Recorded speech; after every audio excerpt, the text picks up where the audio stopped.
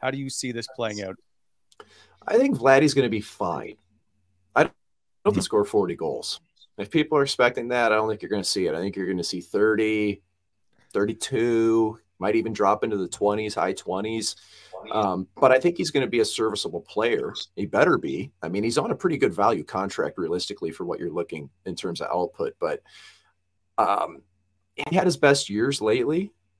Uh uh Like even mm-hmm. during the Stanley Cup run with St. Louis, I think he was respected as a weapon on the power play and mm-hmm. only at five on five when he wanted to be respected. And there's moments where Tarasenko will grab the puck and you go, man, this guy's a world beater. He's still got it. And some games you just don't notice him.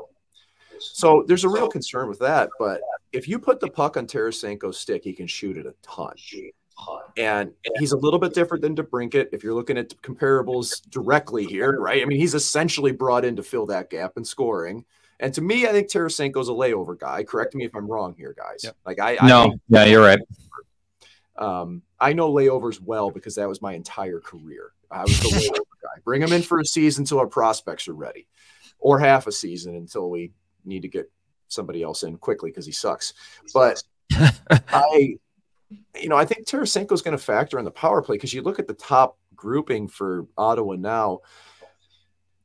Is he going to take? Is Kubalik going to knock Tarasenko off his throne on the on the right side of the power? No, no chance, right? Like Tarasenko's a to me a more consistent scorer, a more consistent driver of play than a Kubalik who's fairly inconsistent as well, even though he can fill it when he wants to.